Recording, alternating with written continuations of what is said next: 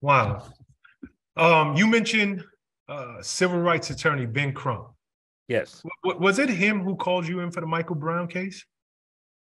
Uh, yes, I believe so. It was uh, Crump was uh, I had met him originally uh, on his first case. Down, I got called on, and uh, and a kid who was uh, 15 year old kid who uh, died while being restrained by police at a boot camp uh, by uh, correctional officers, and uh, went down worked with him on that. Where he died because he couldn't breathe when they had the six big guys on his back, and the medical examiner there had blamed it on sickle cell trait that he died because he had sickle cell trait. And I had to go, uh, I, I had to testify. I testified by by uh, uh, uh telephone telephone to the uh, Florida legislature or something because they looked into it and they awarded they awarded uh, uh sorry five million dollars or something to the next of kin.